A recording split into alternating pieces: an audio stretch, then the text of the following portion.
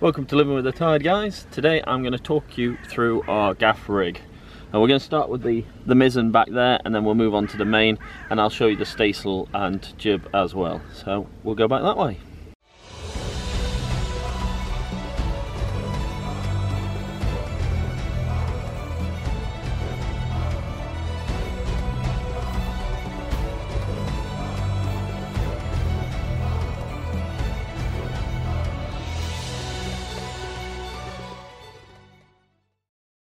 So the first thing I of course do is these two sitting cradles, I've removed those so that it's uh, now free and I leave it a little loose, a little loose like you would a uh, normal mainsail so as we put it up it can uh, go up smoothly.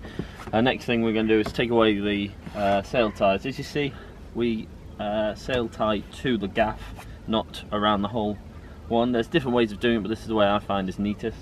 So you can see the sail ties around and then you pull the gaff up and it makes it all nice and tight looks quite nice like that. I have a bit of trouble doing that with the main because it's still new, it's still getting its shape. The mizzen goes away quite nicely, so I'll remove these and then we can send it up. So that's the sail ties off. As you can see it's quite um, slack at the moment on this sheet. That's because without the uh, tension that was in, it's allowed the, the boom to move around more. Um, it's of course held on the topping lifts at the moment but when we put the sail up that takes over and we can slacken the topping lifts uh, off so it doesn't interfere with the shape of the sail. So next thing now is just to hoist it up. So these are the two halyards. We've got the throat here and the peak this side. Throat being the one it's uh, as Paige brings it up in one moment me uh, there we go that's neater. Throat being this one the closest to the mast and the peak is the ones that are sat further out and it's rove back and forth. So the halyard's actually just one halyard but it comes down a few times and uh, we'll hoist them together. What we're trying to aim is we have to keep the peak higher than the throat because of this hinge here.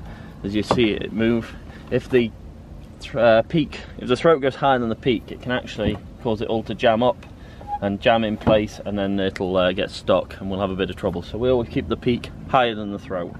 So I'll start sending it up.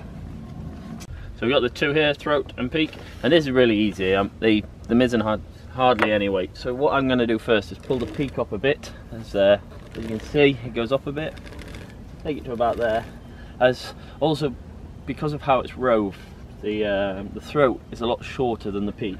So as I start pulling up, the throat will catch up, so I've just got to be careful. So as we send it up like this, as you can see, already you can see the throat's catching up with the peak but I've set it up so I can get all the way to the top there.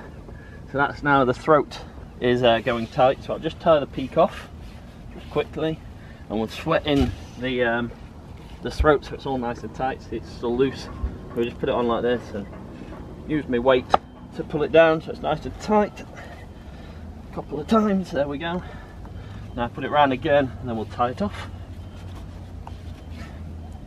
Locking figure of eight there and then we'll leave that for now and you see that's made it quite tight. You can't get it bar tight like you can with winches, but it's tight enough for a gaff. And now we just have to finish off by uh, sending the peak up.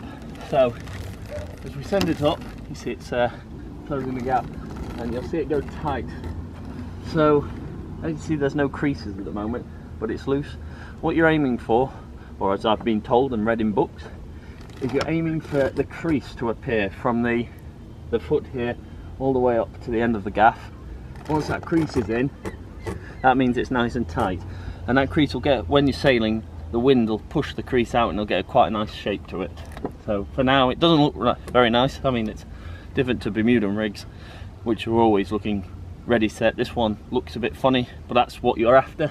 So we've got the nice crease, and we just pull it in, lock it off. I can do this without sweating because the gaff is a lot um, the mizzen is quite uh, easy sail.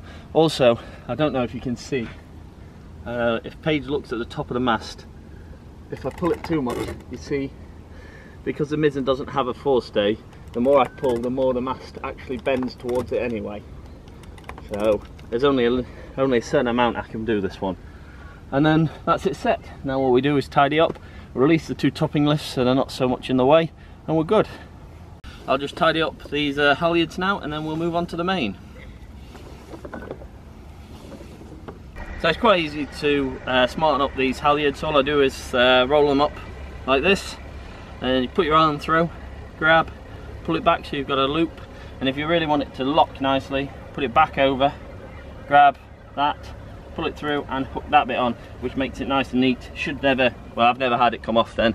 As you can see they sit quite nicely like that now. So quickly do the topping lifts.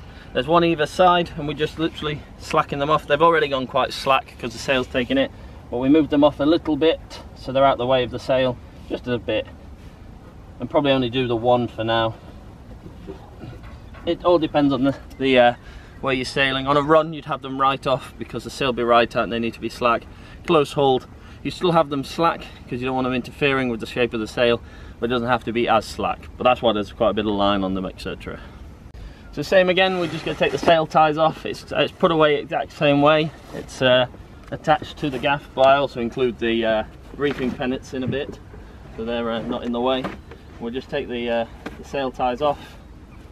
Looks a bit of a mess back here when I do, because all the sail starts to drop out. But once they're off, we can then hoist. It's as simple as that. This, uh, the mainsail's a bit different to the mizzen as we've got two ends to the throat halyard. It gives you a bit of extra purchase when pulling it up, but I'm probably going to change it over. It's a bit awkward, and you'll see why in a minute. But um, that's probably, I'm going to switch it to the same system on the mizzen, but we'll just have a few more uh, blocks to give a bit of extra purchase than what's set up now. So here we are at the mast again. As you see, the two halyards, these are the two we're after. We've got the peak here on the, uh, on the outside going towards the stern and then the throat here. But on this one, as you can see, we've got two ends. I'll see if I can pull them out a bit. If you were to pull this one and have this off the uh, cleat, you'd actually pull it through the block that I'll show you as it comes down. And this is one that's got two ends, so we only put some red in, so you only pull this side. And around this side is the other end. It's this one here. As you can see, we've got the same setup again, the red and the one we should pull. So that's uh, that's how that one stands up. And that's why it's a bit awkward.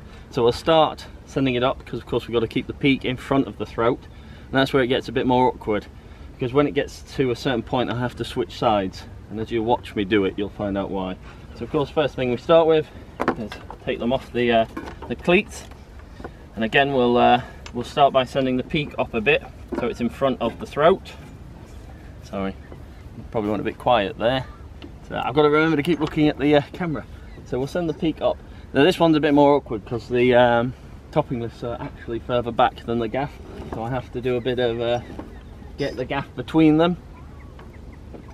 There we go. So now it's going up right. So again we send up the uh, peak a bit. About there. And then we can send them both up. Bit more weight on this now so it's a bit more effort. And I think this is why they had this system set up. So as you see it's about to pass. You see the block coming down? That's the throat halyard.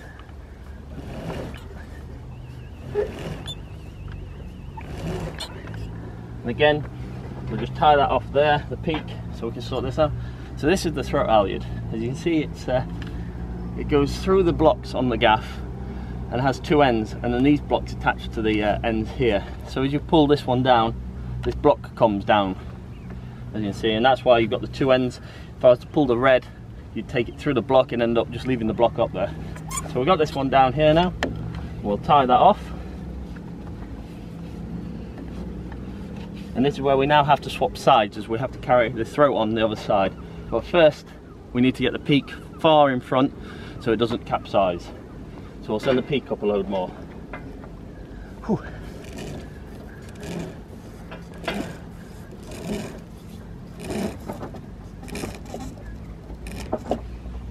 Okay, and now we'll swap sides.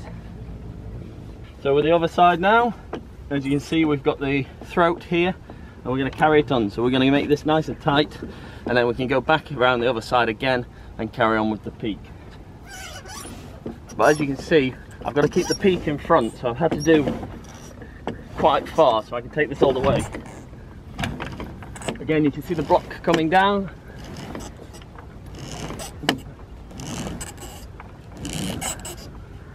There we go. And same as last time, we'll now sweat this one to get it nice and taut.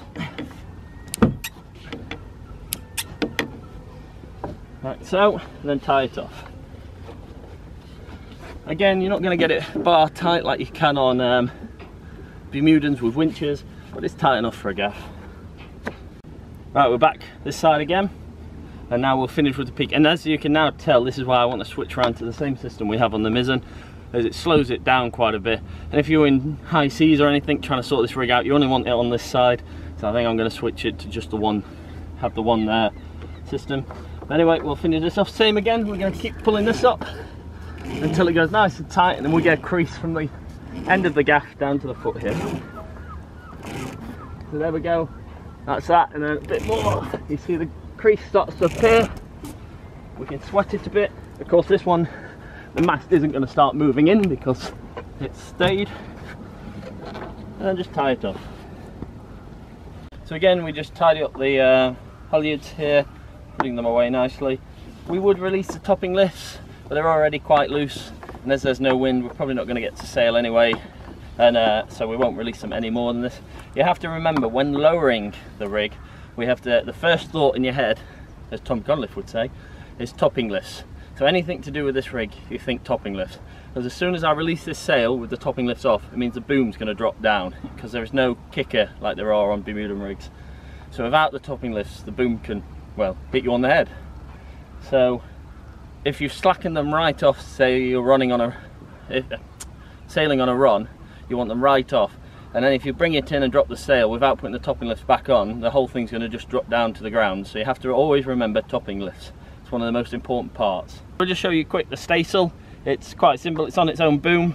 It's uh, currently put away here. I'll move that to the center of the mast so it'll swing from there and it's got a sheet there you can control just like any main boom. Um, we'll send it out, we'll hoist it up and then we'll put it away just so you can see that.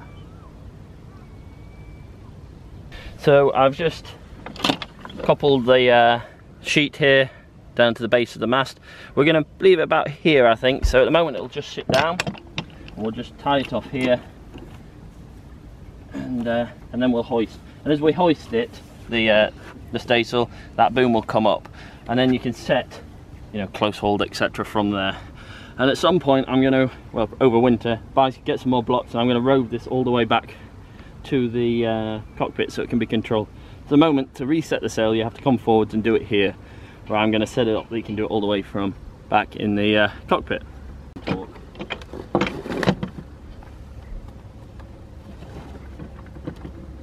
So my staysail halyard's this one here, just on the ravel it here. We now need to slacken it off because to stop it from hoisting, because I always have it set up, I've got a um, a piece of rope on the uh, on the forestay there that I connect it up to so that you can pull it up tight and it won't go. So at the moment, first thing we do is take that off.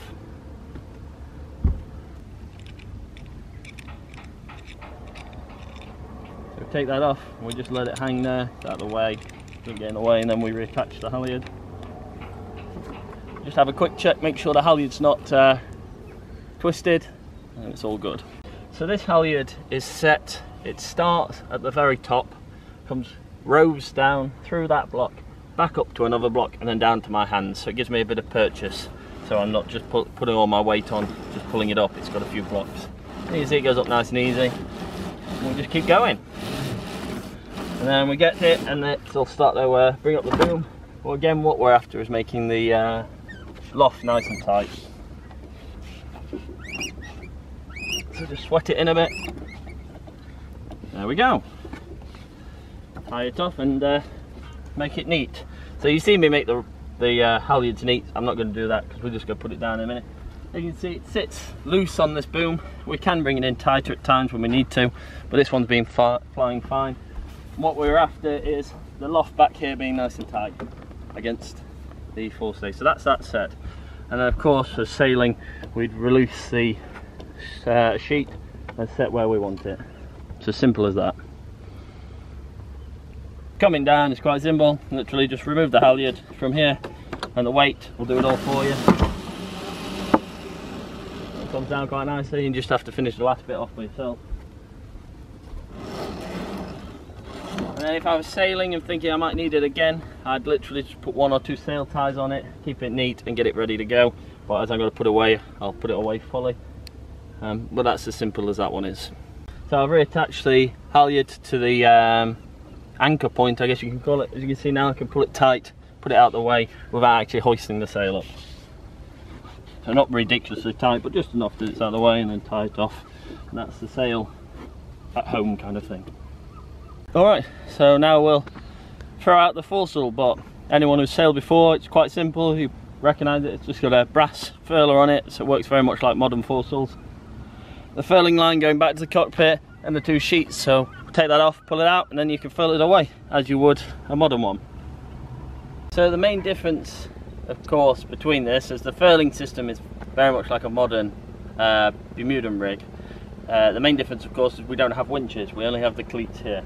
So to get that extra strength, we actually have a block set up on the sheet here. So the sheet comes back, sorry, when, when he's moved out of the way, the sheet comes down here, ends here on a block, and then we rove a, uh, a line through, starting near the cockpit, comes up through here, and then down to the cleats. This is where we pull it from. Very much like the ones on the mainmast. So this is where the sheet starts, goes up through the block and comes back here and we use this, this centre cleat here. This is the furling unit, like any furler, you just release that and it would let it feed out. There's no wind so it's not going to come out on its own, so it's just going to release a bit and I'll have to pull it out with the sheet. It's not going to go out perfect because of course the uh, about wind, so just make sure that runs smooth, pull out the, uh, the sheet and there we go. So of course the sheet comes back, you then put it on the cleat to tie it off and if you uh, really want to bring it in you can sweat it in quite easily and tie it off but without any wind it's already fully out then we just tie it off so when we're doing stuff here um, putting it away neatly we'll do locking figure of eights but when we're sailing we only just do two figure of eights like so so that it's not locked because of course we want to be changing these quickly if we need to same as the main sheet and the mizzen sheet you never lock them you just want to be able to get to them quick the furling away is as simple as can be. We've got the 6mm furler here. All we do is we pull on that, it'll furl up and release the sheet. So we want to keep a bit of tension on so it goes away neatly. It's not going to be so easy. It's normally helped by the fact there's some wind, but without any wind at all, it's quite a bit uh, harder. But we just keep a bit of tension on, furl it away, it goes away quite nicely. When we get to the right uh, point, we take it around a few times and then we'll there we go, and then we'll pull it back. So we'll just tie this off here, like so. And then that'll be pulled away neatly. And then we can pull the sheets out to set it nice and neat and out the way. So here we have the jib halyard. We just leave this alone because being a furling unit, it gets all set, but it needs to be quite tight for the furler to work. So what we do is we hoist it up, get to a certain point, and then there's a loop in it here where we connect up a handy billy block and tackle here just to get that extra bit in so that's why it looks a bit more complicated but it's quite simple get that extra bit of a taut tie it off and then take in the slack that's been left and then it's nice and set and that just gets left now for the sailing season because it's all set but we can show you how this works we'll do another video on actually um, when we lash all the sails on we'll do that as a separate video of putting up both main, mizzen and all the other sails and how we connect them, how they're laced on etc. But that will be a different video. So guys, that's our rig all set. That's the way I do it. I hope you enjoyed that. If you want to learn more, the best book I can recommend is Hand Reef and Steer by Tom Cunliffe. And, uh, and that's, that's all there is to it. So thanks for joining us.